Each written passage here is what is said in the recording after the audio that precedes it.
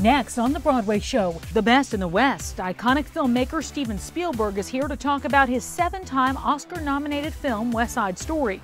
Plus, we're chatting with one of the stars of the new Broadway revival of Funny Girl, Ramin Karimloo. And say hello to one of the fresh new faces of Mrs. Doubtfire, the musical. You'll get to know Analise Scarpaci. I'm Tamsen Fadal, and this is The Broadway Show. The Broadway show is back with another stellar episode. I'm Tamsen Fadal. The Broadway revival of Funny Girl opens on Broadway in April, and its star studded cast for sure, led by Beanie Feldstein, five time Emmy winner Jane Lynch, and Tony and Olivier Award nominee Ramin Karimloo. Let's send it out to Paul Wontorek. Thanks, Tamsen. Ramin Karimloo will take on the iconic leading man role of Nick Arnstein opposite Beanie Feldstein in the spring's hotly anticipated revival of Funny Girl. We met up in the heart of Times Square to talk all about it. People have literally been waiting for Funny Girl to play Broadway ever since 1964 when it first opened at the Winter Garden Theater up there. Yeah. Barbra Streisand and Sydney Chaplin. It has never been back on Broadway. There have been many attempts to bring it back to Broadway, and now it's finally coming, and you're in it. That's crazy, and I feel I didn't take it for granted, but it was it didn't really dawn on me how important this show is to New York City. You know, like this is part of your culture. This is part of like a coming of age for many people. It was their they grew up with it, so there's a real nostalgia, but also this is going to be this generation's funny girl. So I think it's going to uh, it's going to marry both worlds and bring the story back. And it's got so much heart. Beanie Feldstein is phenomenal, and uh, it, an absolute joy to work with every day as well. I feel like one of the reasons why we haven't seen Funny Girl on Broadway in all these years almost 60 years, is the Barbra Streisand thing. This show made Barbra Streisand a star. This is a legendary performance, and it's always been kind of like, who's gonna take this on? And Beanie Feldstein sort of came into our consciousness in the last few years. Everyone's sort of fallen in love with her. What's it like in the rehearsal room? As I say, it works from the top down and she's a great leader and she is a phenomenal Fanny Brice, but she's gonna be even better. Hello, gorgeous. Nicky Arnstein, Nicky Arnstein. I love it. I, I, mean, that, that's like iconic. That's Barbra Streisand, and the, you know, we, we all know those those words. That's you now. Of course, we also talk about Omar Sharif, who played the role in the film. Yeah. Egyptian actor. So it kind of has a link to Middle Eastern handsome dudes like you. Well, listen, your words, not mine. And I, I you know, those are big shoes to fill as well. Omar Sharif's a ridiculously uh, amazing actor. But again, you just take one day at a time, serve the piece as best as possible. We got an amazing company. Jane Lynch, Jared Grimes, this company is, yeah. like when Jared dances, oh I'm like, God, yeah. he's got this thing about, he makes it look so effortless that it almost makes you think, oh yeah, it looks easy, I can do that. And you think, wait a minute, how are you doing all this? He's, he makes me want to dance. I'll put you that way. You have a lot of great stuff to do with Beanie in this show. Um, the, the relationship between Fanny and Nick Arnstein, her, her real husband, yeah. real guy. There's a real story, fraught with drama and romance, high emotions. It, it's it's quite a story. Yeah, it's bittersweet, uh, heartbreaking love story. I remember when we did our first cold read, we're getting choked up by the end. I was like, I don't know why I didn't anticipate this. What what was happening with this relationship and the sort of like where they start at the beginning of the show to where they end. It's quite a journey, and it's it's heartbreaking. Yeah, you're going to break Beanie's heart every night, and we're all going to be watching. Well, you know, uh, without it, there's no story. so this is a revised book by Harvey Fierstein, Michael yeah. Mayer's director, and there's new choreography by Ellenore Scott and Ayodele Casel. Yeah. So this is really a new Funny Girl. It's an opportunity to take a classic and look at it with fresh eyes. Absolutely, and with Ayodele bringing in that tap world, it's it's a whole different. They're different cats, man. These are the cream of the crop and seeing what they do, it's it's there's going to be so much in the show that stops the show, uh-huh. and everyone shines and everyone brings their A game, like their their star power, as their skills. It's, it's crazy. It's crazy to, to, see in the room, to experience it. Then I think, what am I going to offer? you know. And the score is pretty fantastic. Yeah, it's a whole new world for me. Singing that sort of jazzy swing. Yeah.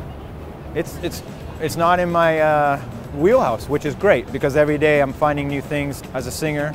But there's some new stuff we're, we're creating and adding, which yeah, again, I didn't realize was going to be in the show. And there's, there's a lot more singing oh. than since day one. So I'll put it that way. You didn't have the same background that a lot of the musical theater performers on Broadway have. It feels like you kind of came here on a roundabout path.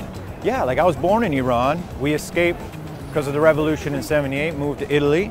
And then from Italy, as refugees, went to Canada and started life there, you know, hard-working parents. So I was brought up like a, what you call a typical Canadian kid back in the day, hockey, everything was sports. I was a bit rough around the edges. I'd fight a little more than I should be fighting. And I got suspended for a year of fighting from my hockey team in high school. And at that point, I saw Phantom of the Opera, and, I, it was the first time I felt a lump in my throat. Didn't know what these emotions were. I thought, I don't know what I'm experiencing here, but I like it. Lo and behold, I started getting into Phantom more, and I kept listening to it. I'd skip school to go watch it. Don't skip school, go to school, stay in school. I'd skip school to watch Phantom of the Opera, and I'd start meeting the actors, and I'd be asking questions. And then at this point, I'm into like De Niro, Pacino, Brando, all these like the studio actors. Started reading books on acting. I think, I think I want to do this. I want to be the Phantom. And then my friend was giving me grief about it, like, you know, giving me a bit of rib. I was like, I bet you'll become the Phantom. Made a bet at 16, and at 26, I phoned him up. I said, guess what? tonight, tonight, it all began tonight. I saw you on the world went away. This is a must-see movie musical event of the year, and right now, the reimagining of West Side Story is nominated for seven Academy Awards, including Best Picture and Best Director for Steven Spielberg. I had the chance to chat with the master filmmaker and rising young star of West Side Story, Rachel Zegler. Rachel, let me start with you. How how does this feel for you? Oh my gosh, loaded question. It's surreal. It's overwhelming. Uh, it's a huge honor. I, I, I can't believe that this this little group project we made two and a half years ago is finally coming out. It's it's it's amazing. You know, you're at the center of the frame right now. Talk a little bit about that. Uh, talk about you and musicals that you've done in the past before, and um, how it all ended up here. Yeah, you know, much like Steven, I was raised with a love of music and a love for classic musical theater. Um, I was very fortunate enough to live in a close proximity to Manhattan, and therefore I got to see Broadway shows all the time. And it really started with the Disney Theatrical Company to see all of their musicals. I saw Beauty and the Beast, Little Mermaid, Lion King, Mary Poppins. I saw all of those before I was introduced to the classics live on stage, like Phantom of the Opera and Les Mis. Um, and West Side Story was just a huge part of my upbringing, and I you know, now it's come full circle in a way. Um, but on stage, you know, I, I didn't do professional theater. I, you know, unlike a lot of our cast, this was my first professional gig. And so um, I, I really credit my, my learning curve to my experience on stage. And, you know, I started on Fiddler on the Roof and then I, you know, all the way to doing Maria on stage when I was 16. And now, that legacy is immortalized forever in a Steven Spielberg film. I feel like you got a good teacher there sitting yeah, next to you. He, he's pretty good. oh yeah, I, I, was, you know, because I was listen, I was also on a learning curve uh, mm-hmm. because this may may have been Rachel's first professional job, the first time she was in front of a camera, mm-hmm. but this is my first musical. So I had a very steep learning curve. Uh, you, you know, I, have been a fan of musicals my entire life, but you can't be a fan and a, and a, and a director of musicals just because you're a fan. Um, uh, I've know I've seen every Arthur Freed production mm-hmm. of every single MGM musical ever made, and still it doesn't prepare you to be a director of musicals. Um, I surrounded myself with some of the best people from Broadway. Instead of bringing Broadway to Hollywood and making him do it my way, I basically had them adopt me, and I came and fi- found Tony Kushner, Tony winning Tony Kushner, and mm-hmm. Paul Tazewell, who did the costumes for um, Hamilton, and and Justin Peck, the associate director of the New York City Ballet Company, and and and certainly Jeanine Tesori, you know, with all of her Broadway work. And I picked the best and the brightest to help me acclimate to this mm-hmm. sort of new genre that I'm so happy I've had a chance to sample mm-hmm. and retire on. I'm not making any more musicals. I'm not making any more no musicals more musicals after this. We're this, done. This, this satisfied me. never say never. Never say never. No, no, never say never. But but in terms of I don't know, maybe I'll do a stage play someday. But that that's another frontier I've never imagined oh, doing. Um, but but but but uh, the, the, the, making of this the the reimagining of West Side Story uh, is one of the greatest dreams I've ever had come true in my entire career. What were the challenges, though, of remaking a, a cultural icon like the original West Side Story? How, where do you begin? Well, I, you, you begin with the integrity of the source material by four geniuses who put this thing on the boards in 1957. Every decision I made was based on the original Broadway play, not uh, the, the, 1961 movie directed by my friend Robert Wise. Uh, this was something that I really wanted to honor the original bones of the original story and and its own um, obligation to Shakespeare's Romeo and Juliet, which they which they were very uh, uh certainly upfront about. Jerome Robbins sure. was. Um, and um, and I just wanted this story to be for this generation. Uh, sadly, and not oddly, more sadly than oddly, uh, the generation this film's intended to be to be that we designed for never saw West Side Story uh, on television or in a movie theater, mm-hmm. and they probably haven't heard the songs and they haven't um, they don't know the story. This will be this will be something new for all of them, which is the reason I made this movie now. Oye, Javi, ponle fuego, vamos!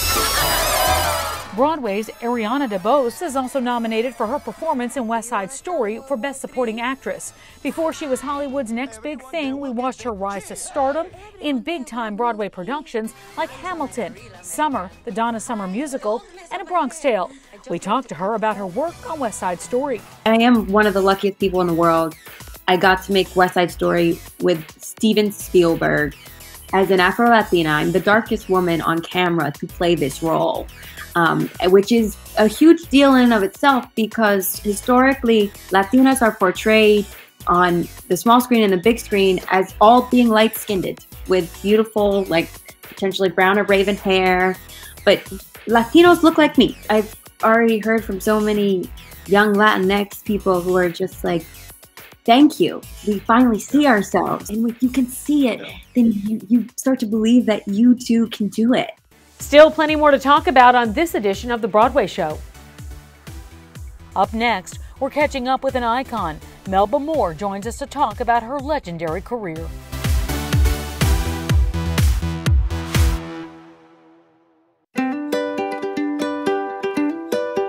It's one of Broadway's most hilarious new shows, and it's strictly for the poppets. It's Mrs. Doubtfire, of course.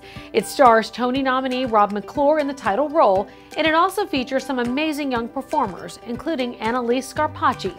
She is this week's Fresh Face. I'm Analise Scarpaci. I play Lydia Hillard in Mrs. Doubtfire on Broadway.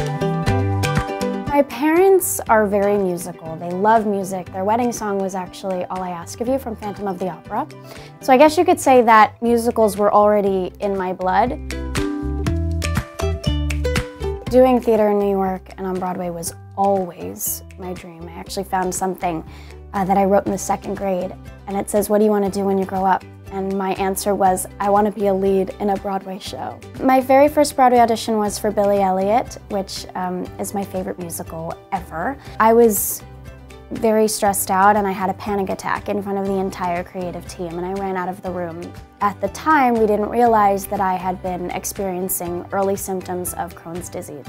I think it's important for people to know that people with invisible illnesses like mine are able to do things that normal people can do. A couple of nights ago, I had my treatment in the morning and then I went to rehearsal and then I did the show at night. And I can't even describe to you how I was feeling. I was just, I felt like I wanted to crawl into my bed and cry. And I did the whole show and I went through and I stuck with it and I was very proud of myself that I did because I wasn't gonna let this little beast inside of me ruin anything. My 16th birthday, I wanted it to be so much fun and my birthday is around Halloween. I am a true, true Scorpio. So in true Scorpio fashion, I had a wicked themed Sweet 16. I consider myself more of a of a Glinda, but with like my moon is an Elphaba. when I found out that I got Lydia Hillard, my manager called me. I see my mom in the corner. My mom had no idea what was happening. And when my agent said, you got Doubtfire, I thought he was lying. And I just broke down in tears because he was dead serious and I just crashed down onto the floor. There's a video on it, of it um, on my Instagram.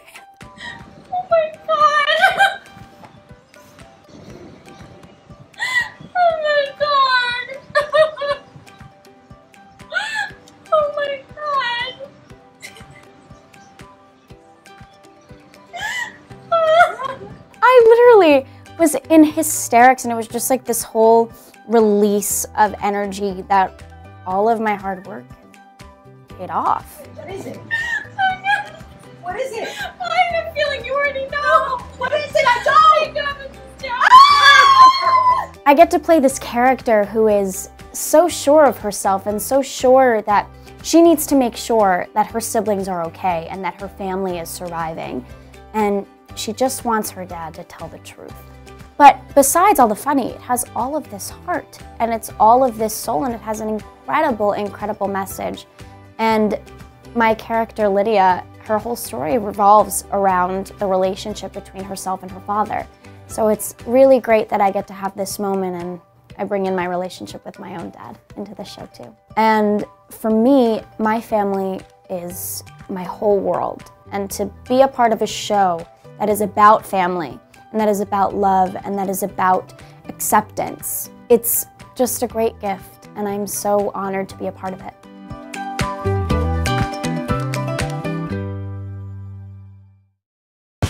Broadway is back, and so is The Broadway Show. Thanks for sticking around. I'm Tamsen Fadal. Melba Moore is a legend, a Tony Award winner, and longtime veteran of both stage and screen. Let's go ahead and send it out to Paul Wontorek. Melba Moore joined the ranks of Broadway's elite when she earned a Tony Award in 1970 for her unforgettable performance in the musical Purlie. I got a chance to catch up with the music and theater icon at Cafe Fiorello, just steps away from Lincoln Center. I actually love sitting with you because one thing that happened to me during COVID was I, I, found myself reconnecting with a lot of the musicals and the stars that made me fall in love with Broadway. I got a record player and listening to vinyl and vinyl of you and uh, and some of these amazing shows that came before. How does that all feel to you? YouTube clip. People watch your YouTube clip of you in Purlie, right? I mean, that's like people people love that song. And well, first of all, one of the uh, great things about Purlie is I had probably a revelation to have my then manager husband ask Philip Rose, who directed and produced it, to put it on film so people could continue to see it. Otherwise, a lot of people would not right. know about it at all. Right, yeah.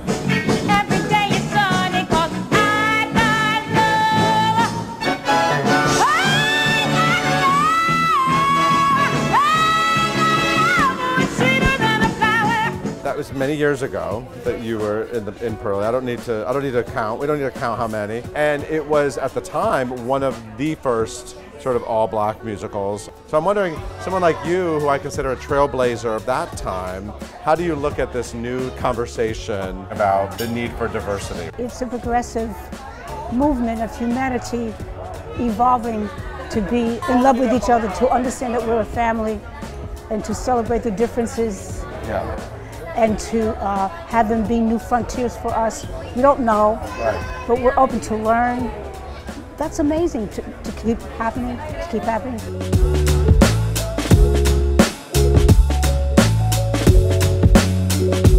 What do you remember about that night that you won the Tony Award? Not a lot, but I play the tape. because uh, the experience was so overwhelming for me. I'd never studied acting. My first play was hair. Yeah, hair is one of those, people must always ask you about hair. I mean, that's sort of like, and they always want to know what, they want to know if you were naked. In the beginning, I didn't want to do it, but then I got curious, so I did it. How'd that feel? Very strange. I'm used to my privacy when I'm naked. Since I haven't spent a lot of time lately doing theater, I spent a lot of time in the R&B recording field. Means I meet a lot of black people who never saw hair and don't know about it because it, it was a hippie movement. The thing that people know about hair now, most people, regardless of background, is that I replaced Diane Keaton. That, that's the thing they are. And of course, you know, Diane Keaton's really not replaceable. No. You know, when you're when you're a kid getting into it, you just kind of want to do anything. But now I feel like you probably have more focus. What kind of projects like get you excited? For me to come back to Broadway should be in music. Yeah. That's very broad, but yeah, yeah. there's so many good ones. And I've, I've been away from it to know the names of everything so much. Right. I've really been focused on recordings. And that's been my tool for keeping my instrument good and, and to uh, stay in front of people. And so now I'm getting offers for people to either create things for me or to bring me back. And fortunately, I've got a lot of people that's in theater. They know all the plays that might be good for me. So Right. actually, I have people um, looking for, for projects for me to do that I know are going to be great. And more than likely, I won't have to audition now. This is the Broadway Show, and we're back in just a few. And that's going to do it for us. Until next time, I'm Tamsen Fadal, and this is the Broadway Show.